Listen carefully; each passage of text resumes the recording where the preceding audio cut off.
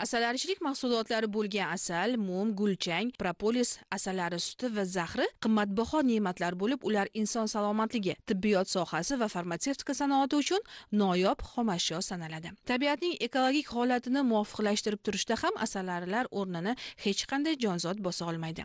Yetti xazinaning biri deb e'tirof etiladigan asalarichilik bilan shug'ullanuvchilar yurtimizda yil sayin ortib bormoqda. Hozirgi kunda o'zbekistonda o'n besh mingdan ortiq asalarichilik xo'jaligi mavjud. Joriy yilda respublika bo'yicha yigirma sakkiz ming tonna asal yetishtirildi. Ahamiyatlisi bu yil rossiya federatsiyasi va qozog'iston respublikasiga ikki yuz qirq uch ming dona asalari paketi eksport qilindi. Mahalliy sharoitda esa besh yuz mingga yaqin zotli ona ari yetishtirish yo'lga qo'yildi. Ayni paytda asalarichilarimiz yetishtirgan asal mahsulotlariga yaponiya koreya va arab davlatlaridan xaridorlar bor. Tabiiy asal nafaqat to'yimli ozuqa balki bebaho shifobaxsh ne'mat bo'lib uning tarkibida inson organizmi uchun foydali mikroelementlarning yetmish foizdan ko'p qismi mavjud.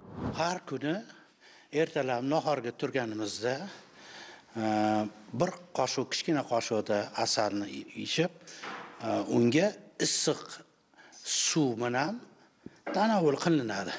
Foydasini ko'rganmisiz? Foydasi yaxshi kuch quvvat berar ekan o'zingizni yaxshi his qilar ekansiz tetik qilar ekan har doim asal e, sotib olasizmi albatta har doim sotib olamiz. Ayniqsa hozir qish kunlarida juda yam foydali bu. Farzandlarimizga shu uydagilarga yosh kattalarga har doim sotib olamiz bilamiz asalari yordamida changlatilgan qishloq xo'jalik ekinlari hosildorligi ancha yuqori bo'ladi.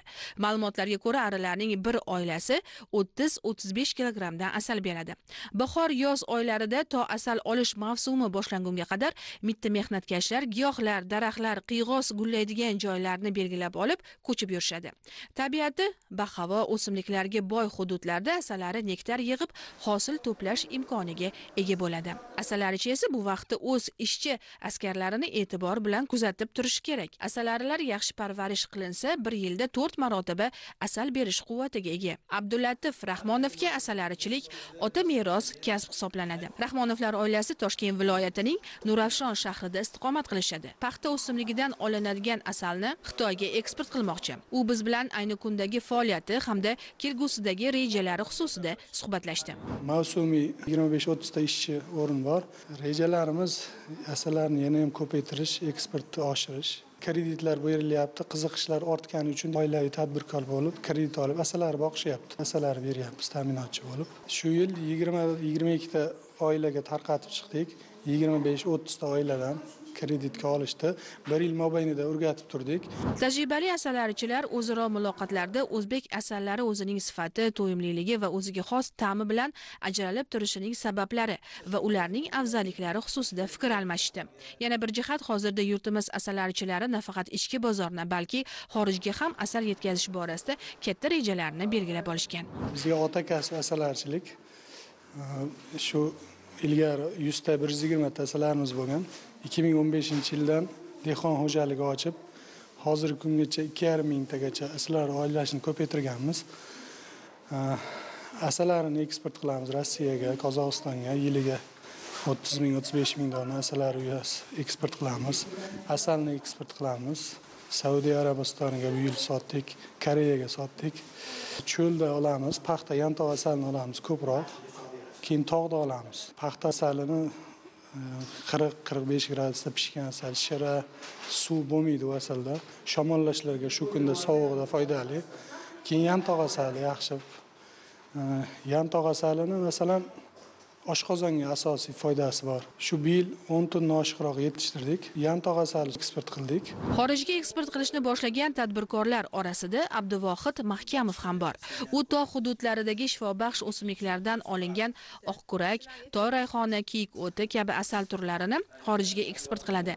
Asosan bizani asallar shu tog' hududlarida shu mana oqsaota chotqol tog' tizimlari qorong'i to'qay shu yerlarda asalchilik bilan shug'ullanamiz.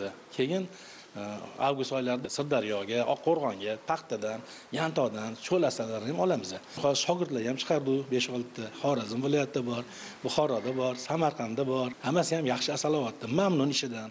Xursand baraka ekan bu. Har holda ro'zg'ori qanaqadir bir tomonni ko'taryapti deydi. Ko'p mehnat qilish kerak ekan ko'p izlanish kerak ekan. Bu ham bir nima deydi. Ilmda asalarichilik ham kuzataman arlan ichida sanitari bor. Bularni e, o'zini e, qo'riqchilari bor yaxshi narsani olib kiritiladi ichkariga. Qancha ko'p izlansangiz shuncha o'zizga foyda. Ko'p o'qiyman ko'p o'rganaman. Man o'zimdan olib ketishadi amerika qo'shma shtatlariga. O'zim ham bir ikki marta bordim u yerda archilar bilan gaplashdim tanishdim jorjiya shtatida. E, Bizani asallar yoqdi ularga. Sizlarniki dedi inglizchasiga good deydi yaxshi narsani. Yaxshi ekan asallaring dedi. Malayziya mana bizni oqqurak bilan e, paxta asalni yaxshi ko'rishadi. Tadbirkor bir yilda o'n tonnadan ortiq asal olishni ta'kidlar ekan. Buning ortida katta izlanish va tinimsiz mehnat yotganligini e'tirof etdi. Ayni paytda bir yuz ellikta asallar qutisi bor Э, endi bahorda buni uch yuztaga olib chiqa olaman arli asosan o'zimdan keyin vodiydan ham olib kelaman. Zotlarini bu e, masalan mana karpat mana yaxshi zot e, bekfast cho'llarda yaxshilaydi bu. E, keyin karnika degani bor. Karpat yaxshi hosil beradi yaxshi olib keladi. Asalni ko'p tashiydi. Shunisi bilan farq qilib turadi.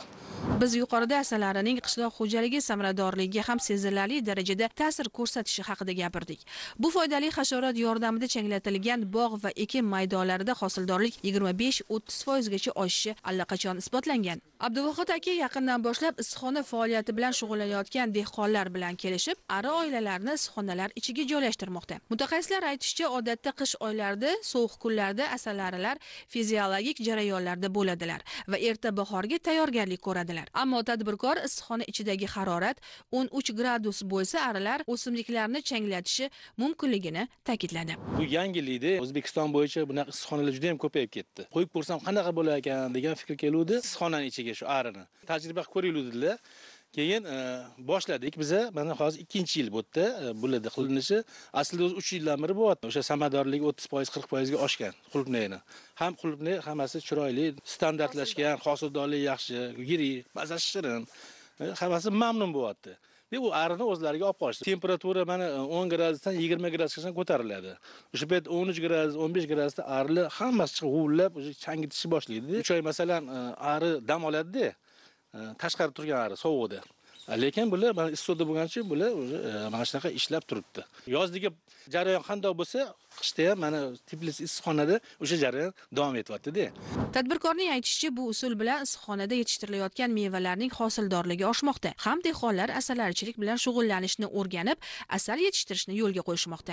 Mana ikki yildan beri asalarini ham qo'ydik. Qishda yozda ham shu yerda tashqariga ochib qo'yiladi qishda ichkarida qulupnayni gullarini changlatadi. Hosilni ancha misol uchun yetmish prosent bo'lsa bir o'ttiz prosent hosil qo'shiladi. Avgust oyida ekkanmiz noyabr oxirlarida chiqdi birinchi hosil. Mana endi bundan buyon xudo xohlasa moy oyigacha beradi. Shu yerdan shu o'ttiz kilogacha teramiz. Har oilasini o'ntaga yetkazsak yoqdagi qo'shimcha joyga ham bir ikkitasi ketsa qolgani tashqarida ham turaveradi. Ham asal ham olamiz xudo xohlasa.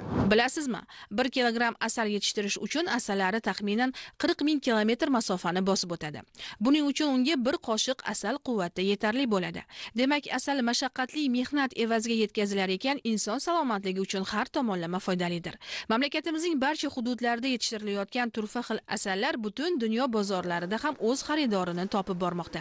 Shunday ekan yurtimiz asallar mahsulotlarini eksport qilishda juda katta imkoniyat eshiklari ochilmoqda. Demak hamjihatlikda ish olib borilsa dasturxonlarimiz yanada shifobaxsh asal mahsulotlariga to'lishi bilan birga eksport hajmi ham shunga yarasha ortib boraveradi.